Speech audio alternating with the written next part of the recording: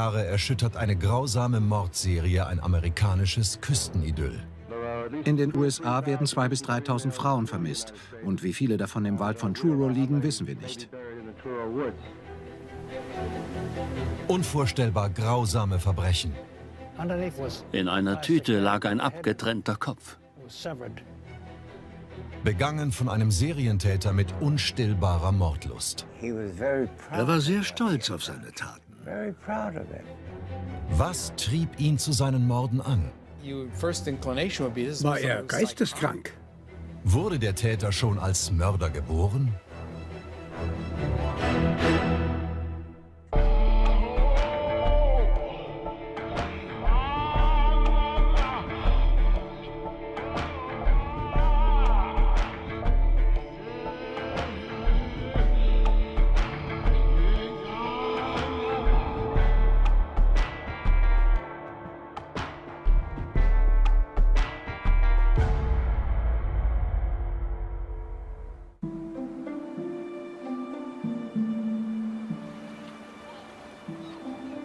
1950er und 60er Jahren ist Provincetown an der Spitze der Halbinsel Cape Cod in den USA ein friedliches Hafenstädtchen.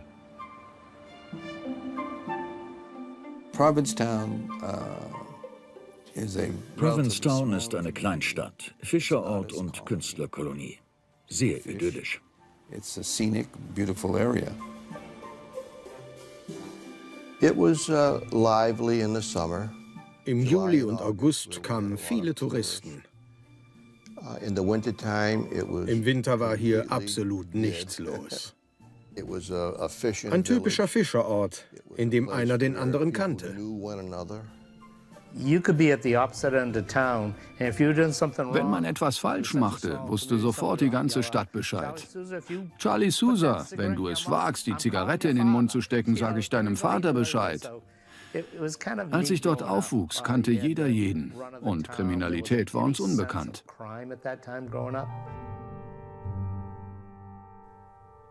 Ende der 60er Jahre entwickelt sich das verschlafene Städtchen zu einem Anziehungspunkt für die neu entstandene Hippie-Kultur.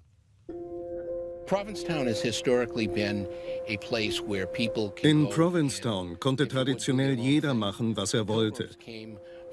Die Pilger aus England, die vor religiöser Verfolgung flohen, landeten zunächst hier und waren in Sicherheit.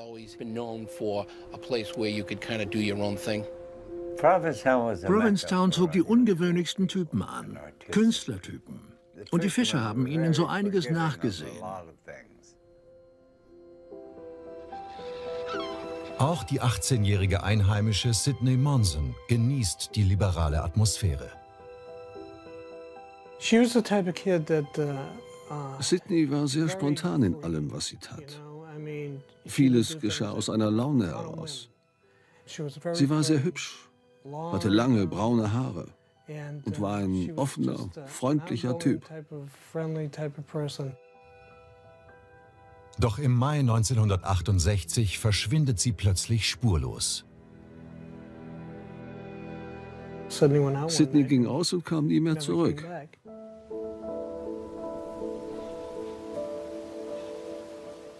Wir machten uns alle große Sorgen, was passiert sein könnte. Sie war einfach weg. Einige deuten ihr Verschwinden als Zeichen der Zeit. Nichts Ungewöhnliches. Junge Leute verschwanden damals oft, ohne ihren Eltern Bescheid zu sagen. Sowas kam häufiger vor.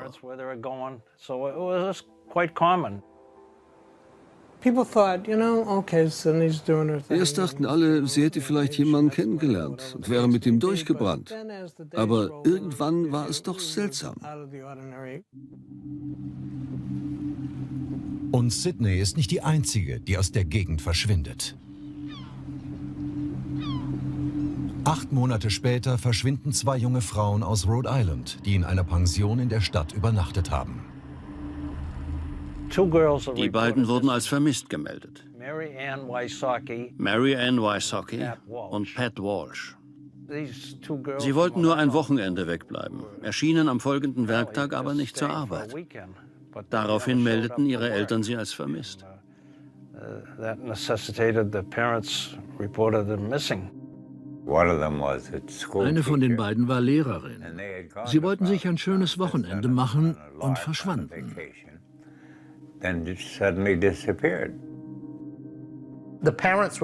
Die Eltern schworen Stein und Bein, dass dieses Verhalten ihrer Töchter absolut ungewöhnlich sei.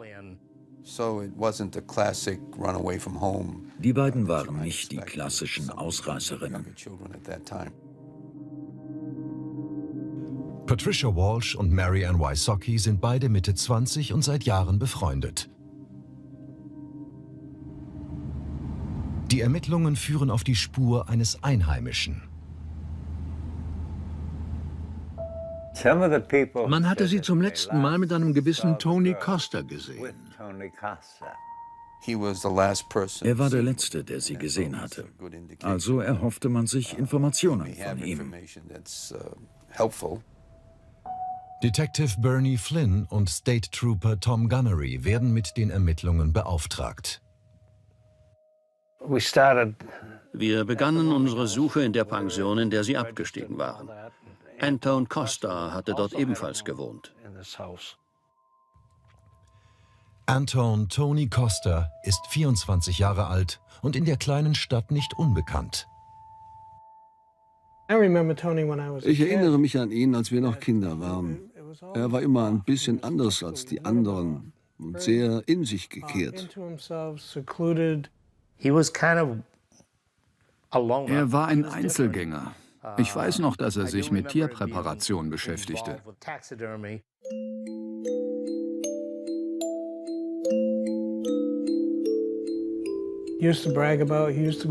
Er gab damit an, dass er durch die Straßen fuhr und überfahrene Tiere einsammelte. Jemand erzählte mir, er hätte auf einem Campingausflug einen Waschbären geschossen und mitgenommen, weil er ihn zu Hause ausstopfen wollte. Nachts ging er auf die Jagd nach Kaninchen und Eichhörnchen, die er später zerlegte oder was auch immer er mit ihnen machte. Er war seltsam.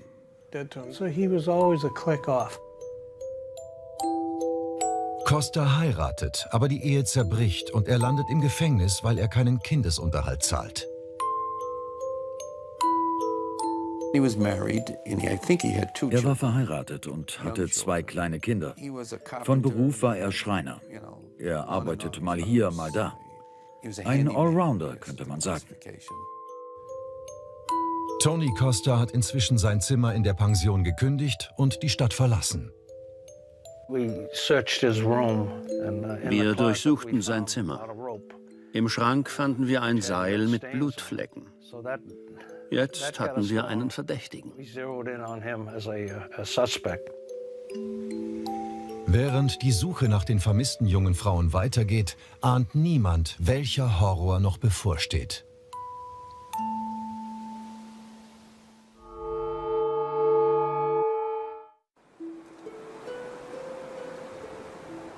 Im Januar 1968 verschwinden Patricia Walsh und ihre Freundin Mary Ann Wysocki während einer Reise nach Provincetown auf Cape Cod.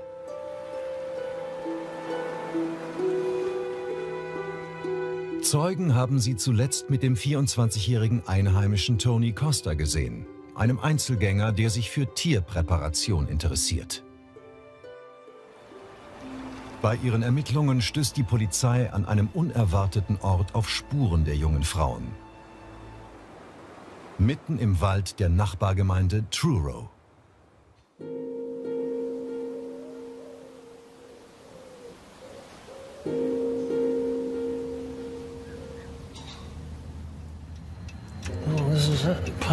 Das ist der Friedhof von Pine Grove. Schon seltsam, dass so weit draußen ein Friedhof ist. Der Wagen der Frauen wurde an der Straße zum Friedhof gefunden. Am Tag ihres Verschwindens wird Patricia Walshs VW Käfer auf einem Feldweg hinter dem alten Friedhof entdeckt. Brings back a lot of memories. Yeah, it did. The car was seen by a uh, der Wagen wurde von einem Anwohner entdeckt. Ein fremdes Auto in dieser Gegend. Das fiel auf.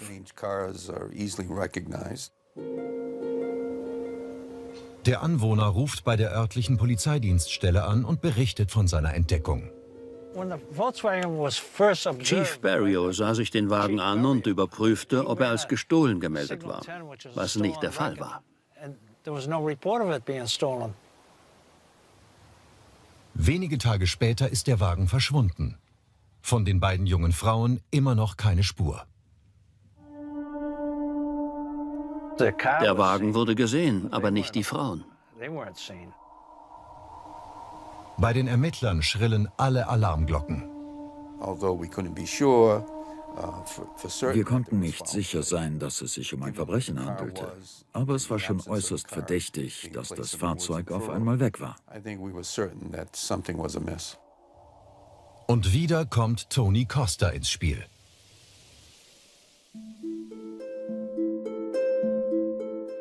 Mehrere Zeugen sahen ihn in dem Auto. Costa taucht mit dem Wagen in einer Autowerkstatt auf und stellt dort eine verdächtige Frage. Er erkundigte sich, was es kosten würde, den Wagen neu lackieren zu lassen. Danach verlässt der junge Mann die Stadt, was nicht unüblich für ihn ist.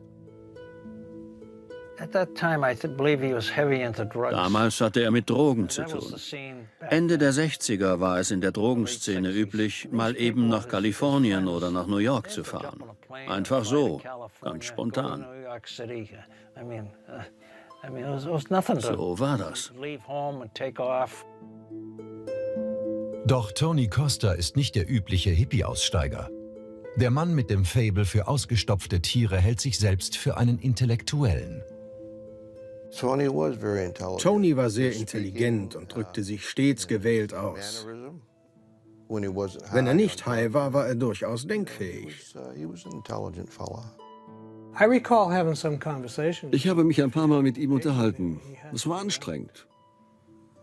In einer Diskussion musste er immer Recht behalten. Ganz egal, worüber man sprach. Er wusste alles besser. Und weil die Leute darauf keine Lust hatten, blieb er meist für sich. Doch bei jungen Frauen kommt der gut aussehende Tony Costa mit seiner philosophischen Art bestens an. Er war ein gut aussehender Kerl. Er hatte etwas von einer Porzellanfigur. Die junge Bonnie Callis lernt Costa kennen, als sie bei ihrem Vater in der Arztpraxis arbeitet. Ich sah ihn morgens, wenn ich zur Arbeit kam und abends, wenn ich nach Hause ging. Er strich die Hausverkleidung und ich hatte immer Angst, Farbe abzukriegen. Tony war kein Kostverächter.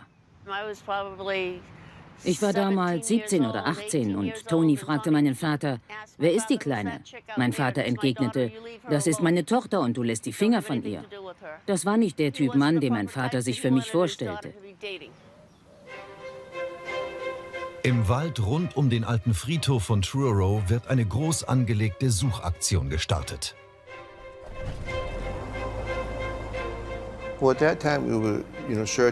Damals ahnten wir nicht im Ansatz, was geschehen war. Wir hatten Suchmannschaften zusammengestellt. Nationalpark Ranger, örtliche Polizei, State Police, Hundestaffeln, Hubschrauber. Und wir wurden ziemlich schnell fündig. State Trooper Tom Gunnery entdeckt eine verdächtige Mulde im Waldboden. Die Mulde war etwa so tief und nicht vollständig mit Erde aufgefüllt.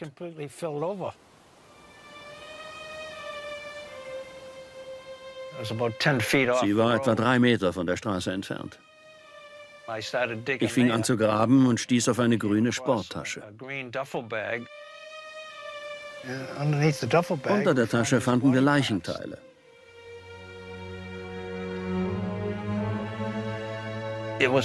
Abgetrennte Körperteile. Wir haben das Grab einer nicht identifizierten Frauenleiche gefunden.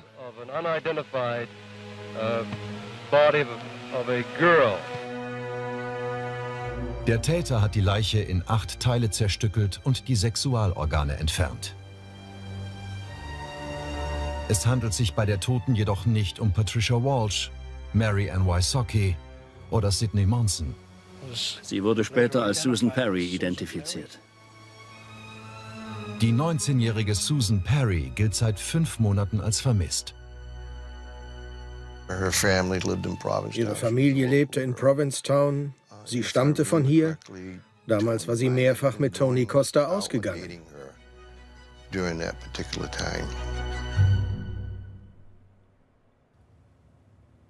Tony Costa wird seit ihrem Verschwinden mit Patricia Walsh und Mary Ann Wysocki in Verbindung gebracht, weil man ihn im Fahrzeug der beiden gesehen hat. Um seine Unschuld zu beteuern, kehrt er plötzlich nach Provincetown zurück. Wir fragten ihn, wann er die beiden Frauen zuletzt gesehen habe. Er behauptete, eine der beiden wolle eine Abtreibung vornehmen lassen und sie seien auf dem Weg nach Montreal. Es war das reinste Katz-und-Maus-Spiel. Seine Aussagen widersprachen sich. Er behauptete, die Frauen hätten ihm den Wagen geliehen, solange sie in Kanada wären. Dann sagte er, er hätte das Auto gekauft. Die Ermittler sind überzeugt, dass Costa in die Sache verwickelt ist und von seiner Spur ablenken will. Er änderte seine Geschichte immer wieder, um seine Spuren zu verwischen. Er wollte uns überlisten.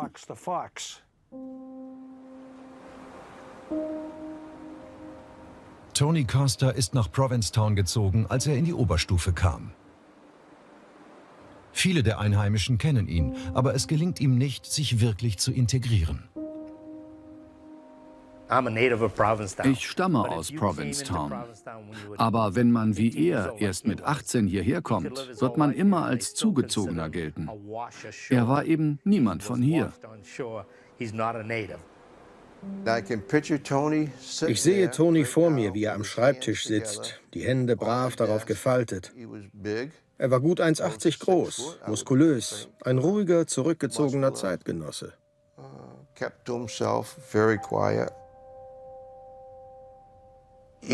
Im Schulbus saß er immer ganz hinten, immer allein. Er hatte nichts mit uns anderen zu tun. Seltsam.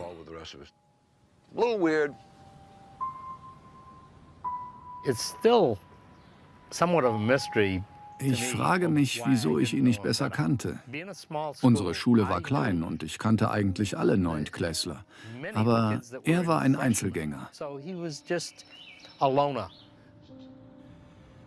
Tony Costas Familie stammt zwar aus Provincetown, doch er wächst im Großraum Boston auf. Sein Vater war bei der Navy, er ertrank im Einsatz. Bei Costa wird später eine schizoide Persönlichkeitsstörung diagnostiziert. Personen, die sich von sich aus abschotten und wenig Kontakt zu anderen Menschen haben, tendieren dazu, sich Berufe zu suchen, in denen sie alleine arbeiten können. Bei einer schizoiden Persönlichkeitsstörung fehlen der Person emotionale Beziehungen zu ihrer Umgebung. Sie tendieren zu einzelgängerischem Verhalten und legen keinen Wert auf gesellschaftliche Normen.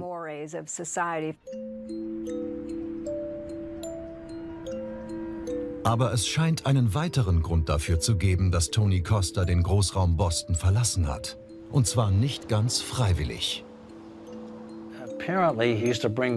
Offensichtlich hatte er mehrfach versucht, Mädchen, die mit ihm auf sein Zimmer gekommen waren, mit einem Kissen zu ersticken. Angeblich hat er, als seine Mutter zu Besuch bei einer Freundin war, das Nachbarsmädchen gefesselt. Kurz bevor er nach Provincetown zurückkehrt, wird Costa dabei erwischt, wie er in das Zimmer einer 14-jährigen Nachbarin einbricht. Sie erwacht jedoch und er flieht. Später gesteht er, dass er zwei Jahre zuvor dasselbe Mädchen gefesselt und ausgezogen hat. Solche Rituale gehen häufig dem ersten Mord voraus. Wenn ein Täter sein Opfer fesselt, bringt er es unter seine Kontrolle. Und so etwas ist fast immer ein Vorzeichen dafür, dass in Zukunft diese Person noch etwas viel Schlimmeres tun wird. Ich glaube, er wurde damals vor Gericht gestellt. Vielleicht hat ihm der Richter geraten, besser die Stadt zu verlassen. Und so kehrte er zurück nach Provincetown.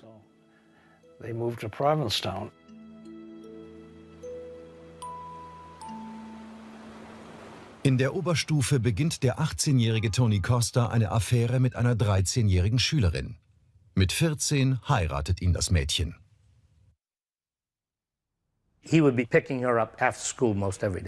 Er holte seine Freundin jeden Tag von der Schule ab. Sie war gerade mal im achten Schuljahr und das war das Besondere. Normalerweise ging man mit niemandem aus, der so viel jünger war. Maximal mit jemandem, der zwei Stufen unter einem war, also zwei Jahre jünger.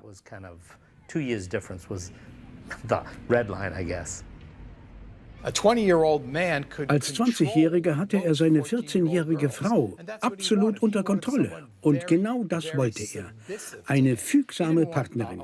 Nicht etwa eine Frau mit eigenen Vorstellungen und Ideen. Nein, sie musste ihm unterlegen sein. Und auch mit Mitte 20 besteht Costas Freundeskreis überwiegend aus Teenagern. Wahrscheinlich ertrug er die Leute in seinem Alter nicht. Mit denen verbrachte er jedenfalls nie seine Zeit. Costa besaß etwas, das viele Teenager äußerst verlockend fanden. Er rauchte Marihuana und besaß eine eigene kleine Plantage. Anton Costa hatte einen richtigen Marihuana-Garten. Das war in dieser Gegend leider nichts Ungewöhnliches. Man war sehr freigebig mit seinen Drogen. Vor allem Marihuana. Alle haben Pott geraucht. Alle. Das fanden die jungen Leute spannend. Und mit seiner eigenen Plantage war Tony natürlich eine Verlockung für die Kids.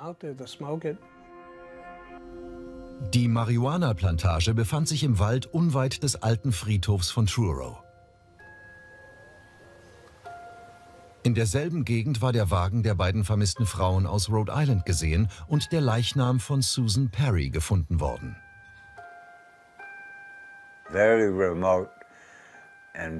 Sehr abgelegene Gegend weit ab vom Schuss. Nachts kann man dort nicht die Hand vor Augen sehen. So weit weg ist man von allen Lichtern. Die Ermittler gehen davon aus, dass Costa für das Verschwinden von Patricia Walsh und Mary Ann Wysocki verantwortlich ist. Doch sie können ihm kein Verbrechen nachweisen.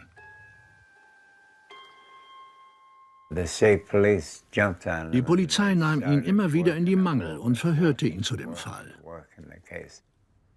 Wir stellten ihn als Hauptverdächtigen unter Beobachtung. Sechs Wochen nachdem die beiden Frauen verschwunden sind, taucht auf einmal in Provincetown ein Telegramm auf, das an Tony Costa adressiert ist. Darin steht, was war los? Wir haben wie geplant gewartet. Ist bei dir alles in Ordnung? Wir treffen uns wie vereinbart in New York City. Liebe Grüße, Pat und Marianne. Doch hinter diesem Telegramm steckt mehr.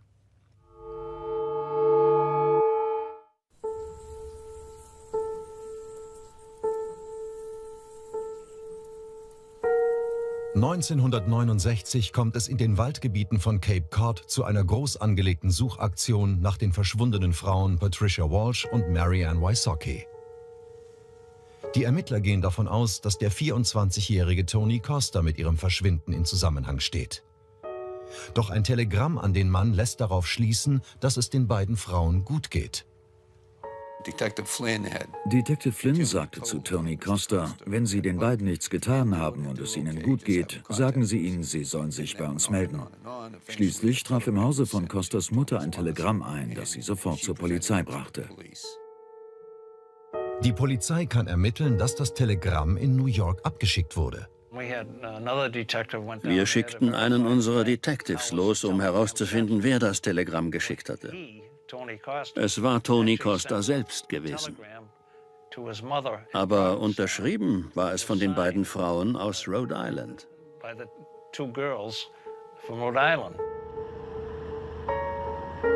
Es kommen weitere Details zum Vorschein. Einem der Mädchen die seine Plantage sehen wollten, hatte er offensichtlich einen Pfeil in den Rücken geschossen.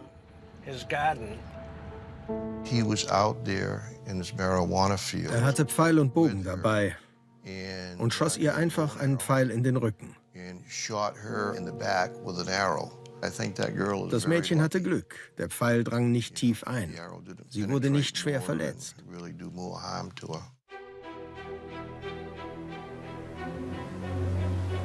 State Trooper Tom Gunnery und seine Kollegen intensivieren ihre Ermittlungen im Wald von Truro. Die Bevölkerung wurde aufgerufen, bei der Suche zu helfen. Man sollte alles Auffällige den Polizisten melden, die vor Ort waren.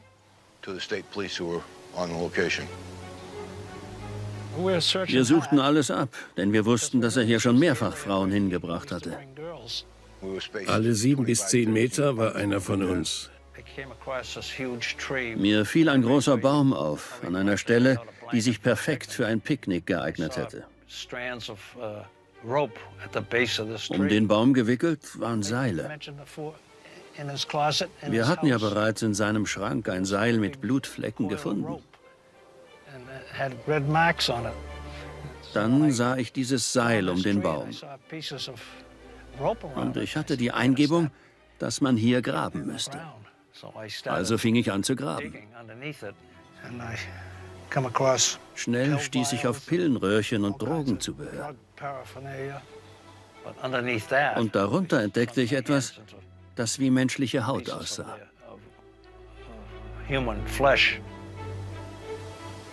Die grausige Wahrheit kommt nach und nach zum Vorschein. Unter den Drogenutensilien lag eine Plastiktüte, in der ein menschlicher Kopf war.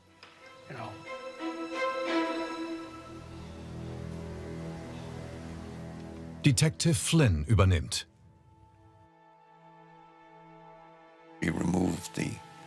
Er wischte den Schmutz von der Haut, von Augen und Mund und sagte dann, das ist der Kopf von Marianne Wysocki. Was für ein Horror. Absoluter Irrsinn. Schnell müssen die Ermittler feststellen, dass in diesem Grab nicht alle Teile von Marianne Wysocki liegen. Uh, es war wie ein Puzzle. Uns fehlten aber noch Teile des Puzzles, also gruben wir weiter. Es wird ein zweites Grab entdeckt. Diesen Augenblick können die Anwesenden bis heute nicht vergessen. Von dem Grab ging ein stechender Geruch aus. Er setzte sich in der Nase fest. Ich rieche ihn jetzt wieder, wo ich hier stehe. In dem zweiten Grab werden die fehlenden Überreste von Marianne Wysocki entdeckt, sowie Patricia Walsh, deren Leiche in Hüfthöhe zerteilt ist. Doch damit nicht genug. Eine weitere Entdeckung löst einen Fall, den die Ermittler bereits seit zehn Monaten bearbeiten. Da war eine weitere Leiche. Es handelte sich um Sidney Monson. Uh, Sie lag unter den beiden anderen Mädchen.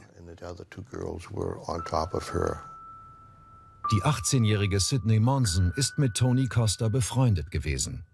Nun liegt ihre zerstückelte Leiche in einem Grab im Wald bei Truro. Ich konnte es nicht fassen. Uh, uh, ich war am Boden zerstört. Wir waren eine Weile zusammen gewesen. Ich konnte nicht glauben, dass ihr so etwas zugestoßen war. Sie war ein ganz besonderer Mensch für mich. Die grausamen Funde machen landesweit Schlagzeilen. Es war überall in den Nachrichten. Die Leichen lagen seit vermutlich sechs bis neun Monaten dort. Wir wissen nicht, was sich in diesem Zeitraum abgespielt hat. Wenn sich herumspricht, dass es in einer Kleinstadt einen Mord gab, ist es so, als bliebe die Zeit stehen. Alle waren schockiert. Ernsthaft schockiert darüber, wie jemand so etwas tun kann. Der Fall machte landesweit Schlagzeilen, vielleicht sogar weltweit. Alle Beweise deuten auf Tony Costa. Er wird sofort festgenommen. Auf einigen der abgetrennten Leichenteile scheinen sich Zahnabdrücke zu befinden. In der Autopsie ergibt sich, was der Täter mit den Leichen der Frauen gemacht hat. Wenn man Leichenteile einzeln im Wald liegen sieht oder auf Polizeifotos, dann sind es nur Teile von irgendwas. Aber wenn sie zusammengesetzt und gereinigt auf den weißen Fliesen in der Pathologie liegen und man die Todesangst in den Gesichtern der jungen Frauen sieht,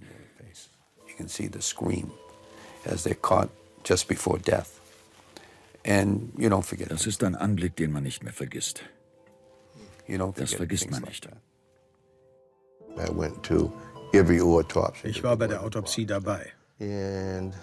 Ich habe in meinem Leben viel Schlimmes gesehen, aber das, muss ich sagen, war das Allerschlimmste.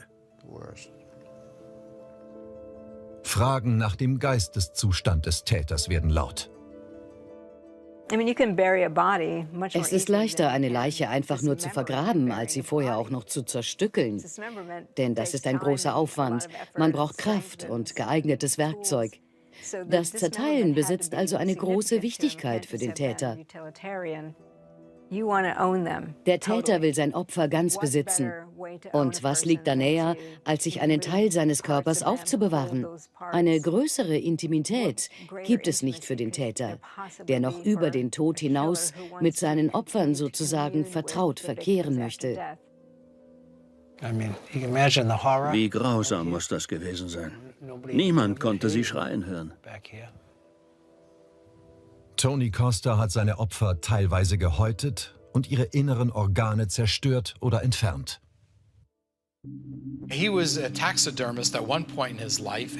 Costa war Tierpräparator. Er interessierte sich für tote Lebewesen und ihre inneren Organe. Er entfernte sie und stopfte die Tiere anschließend aus. Ähnlich ging er mit seinen Opfern vor. Er verstümmelte sie. Die Tätigkeit einer Person spiegelt ihre Persönlichkeit wider und nicht umgekehrt. Die Persönlichkeit ist immer zuerst da. Bei Costa kam sie zusammen mit einer morbiden Besessenheit vom Tod und allem, was damit zusammenhängt. In Cape Cod erinnert man sich, dass Costa immer schon durch seltsame Verhaltensweisen auffiel. Er wohnte im dritten Stock eines Hauses im Norden von Truro. Immer wieder verschwanden in der Gegend Katzen und schließlich kam heraus, dass Costa dafür verantwortlich war. Was auch immer er den Tieren angetan hat, es war sicher nicht schön für sie.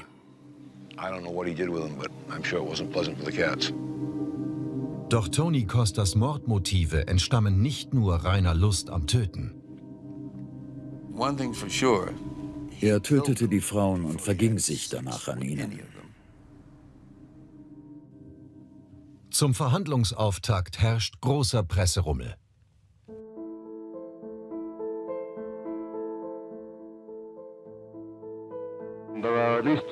In den USA werden 2.000 bis 3.000 Frauen vermisst. Und wie viele davon im Wald von Truro liegen, wissen wir nicht. Ganz sicher genoss er es, im Brennpunkt des Interesses zu stehen. Im Verlauf der Verhandlung wird Costa auch zum Ort seiner Verbrechen gebracht.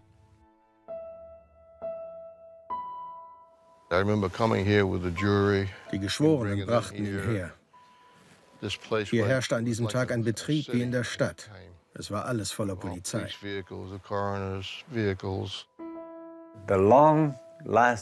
Er vermittelte mir nachhaltig den Eindruck, dass er stolz auf seine Taten war. Sehr stolz sogar. Costa bestreitet jedoch, die Morde begangen zu haben. Sein Anwalt plädiert auf Schuldunfähigkeit wegen Drogenkonsums. Sein Verteidiger führte an, er litte durch seinen Drogenkonsum an einer Geistesstörung. Costas Tablettenabhängigkeit hätte auch dazu geführt, dass er bei seinem Arzt eingebrochen sei. Er war bei Dr. Callis in Wellfleet eingebrochen. Dort stahl er Arztbedarf und Medikamente.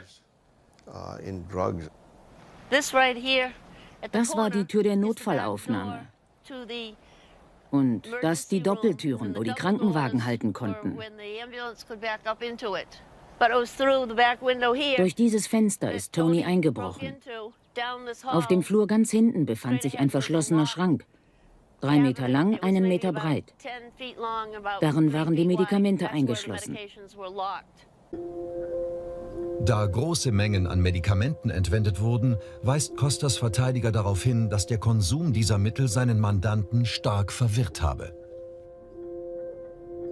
You can definitely react aggressively under a Natürlich kann der Einfluss von Drogen zu einem aggressiven Verhalten führen. Es gibt Serienmörder, die sich der Polizei stellten, weil sie unter Drogeneinfluss jemanden töteten, den sie nicht töten wollten. Aber nur Drogenkonsum allein macht niemanden zum Mörder. Wer allerdings mit dem Gedanken spielt, jemanden umbringen zu wollen und dann Drogen konsumiert, verliert natürlich seine Hemmungen. Evaporated for the most part. Sein Anwalt versuchte, Strafmilderung herauszuschlagen. Costas Drogenproblem habe eine Geistesstörung verursacht, aber sein Drogenkonsum spielte hierbei, wenn überhaupt, nur eine untergeordnete Rolle, als enthemmende Komponente. Viele Mörder betäuben sich vor ihren Taten, aber Drogenkonsum ist nie die Ursache für Mord. Drogenkonsum ist nur die Ursache für enthemmtes Verhalten. So wie Costa vor Gericht auftritt, nimmt man ihm auch keine Geisteskrankheit ab. Er war gestört, aber nicht geisteskrank. Und das hat er vor Gericht eindrücklich bewiesen. Er war kalt und arrogant. Ich werde nie vergessen, wie er auf der Anklagebank saß und sich Notizen machte. Da war keinerlei Emotion. Gar nichts. No emotion, no nothing. Offensichtlich glaubt Costa, er müsse ins Geschehen eingreifen. Also steht er auf und gibt eine Erklärung ab.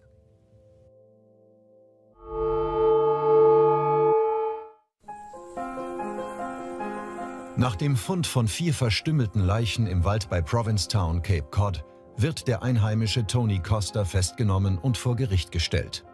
Seine Verteidigung plädiert auf eingeschränkte Schuldfähigkeit wegen starken Drogenkonsums. Doch der Angeklagte beschließt, sich selbst vor Gericht zu äußern. Solche Täter glauben immer, sie könnten die Geschworenen auf ihre Seite ziehen. Außerdem wollen sie die Kontrolle behalten. Und wenn sie narzisstisch sind, trauen sie ohnehin niemand anderem zu, sie so gut verteidigen zu können, wie sie selbst sich verteidigen können. Daher glauben solche Täter, dass sie durch ihre Aussage die Lage unter Kontrolle haben und das Geschehen beeinflussen können, was natürlich nicht stimmt. Aber das kommt bei narzisstisch gestörten Menschen nicht an. Costa hielt ein kurzes Referat über die Schädlichkeit von Drogen. Schön und gut. Als er fertig war, flüsterte Lieutenant Killen mir zu, jetzt wird es schwer für Sie zu beweisen, dass er verrückt ist that he's nuts. That's just what exactly what Kilden said to me. Mit seinen Ausführungen hat er gerade allen gezeigt, wie rational und wortgewandt er war. Ich schätze mal, dass seine Verteidigung von seiner eigenmächtigen Aussage nicht sehr angetan war. Und dennoch wirkt das, was der Täter den ermordeten Frauen angetan hat, wie das Werk eines Geisteskranken. Wenn man sich ansieht, was Costa am Tatort veranstaltet hat. Er schnitt einem Opfer das Herz heraus und platzierte es an der Stelle der Genitalien könnte man schon auf den Gedanken kommen, dass das das Werk eines Geisteskranken war. Doch Costa war nicht geisteskrank. Sein Verhalten war abnorm, keine Frage. Aber er hörte keine Stimmen oder hatte Wahnvorstellungen. Er war einfach schwer gestört und litt unter primitivsten Fantasien. Man spricht in diesem Fall von Regression.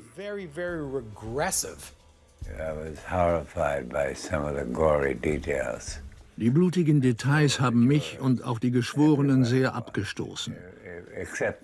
Tony Costas Verteidigung wollte nicht, dass ihm die Fotos der verstümmelten Leichen gezeigt werden.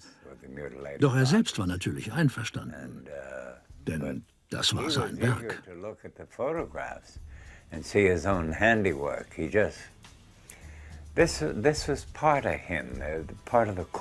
Das war ganz bezeichnend für ihn. Dieser kalte, seelenlose Mann genoss es, seine Taten noch einmal zu bewundern.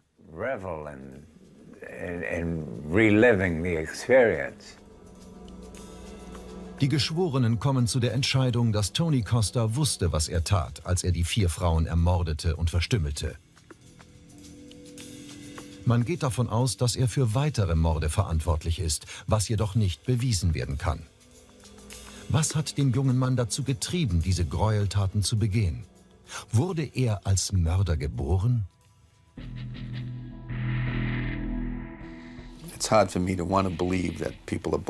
Ich glaube nicht, dass ein Mensch als Mörder geboren wird. Aber es gibt Menschen, die töten. Tony war krank. Aber ich glaube, er kannte den Unterschied zwischen richtig und falsch.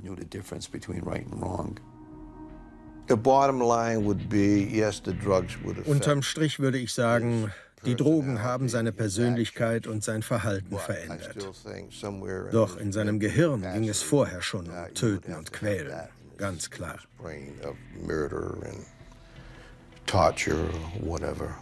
Was hat er diesen Mädchen angetan? Er hat sie nicht einfach erschossen und begraben. Nein, er hat sie zerstückelt. Und sowas lässt sich nur mit einer geistigen Störung erklären.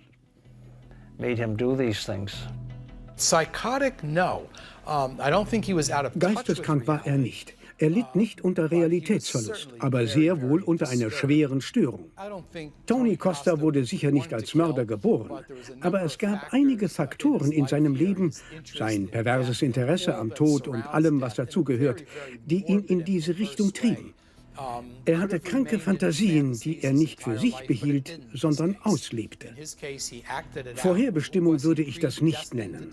Allerdings liegt solchem Verhalten eine neurologische Komponente zugrunde und ein bestimmtes sexuelles Erregungsmuster. Die meisten Menschen, die an dieser Abnormität leiden, sind jedoch in der Lage, ihre Fantasien nicht ausleben zu müssen. Doch genau das tat Costa. Er war das fleischgewordene Böse. Seelenlos, mitleidlos, erbarmungslos. Ich habe nie zuvor so jemanden erlebt. Er war kein Mensch, er war ein Automat. Dieser Mann war vollkommen irre und außerordentlich böse.